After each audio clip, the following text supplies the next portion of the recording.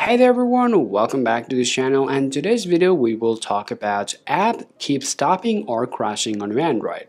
Well, if you're using an Android and if you're seeing that your apps just keep crashing and that can drive you crazy and honestly speaking this is one of the major problems that most people are currently facing with their Android device. Well, therefore I've decided to make this video to give you tips and tricks to fix your problem. Now, the first things you gotta do is simple. Go ahead and open up your Play Store and then go ahead and tap on your name banner right there. Go ahead and tap on there and then tap My Apps and Games. Now here, go ahead and tap on this mark and here all you have to do go ahead and tap scan now what it will do it will scan all those malicious virus if it happens to be in your applications. Now if it say no harmful apps found, now let's go ahead and check out our next process to fix our problem.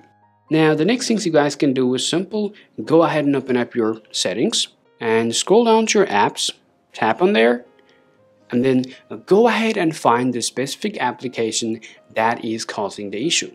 Now, let's say, for example, you are trying to open up your, um, let's say, your Facebook, for example. Then you can open up your Facebook or whatever the application you're currently using.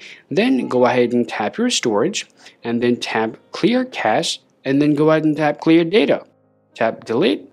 Now go ahead and check whether you're being able to use that application or not. If still, if you're having the same problem, the next things you guys can do is simple. Just go ahead and open up your Play Store and then all you can do just go ahead and tap search. Now go ahead and type the application of what is causing the issue. Now let's say you were having problem with your Google for example. So I'll open up the Google and here all you can do just open up your Google from your Play Store and then go ahead and hit uninstall. Hit uninstall again.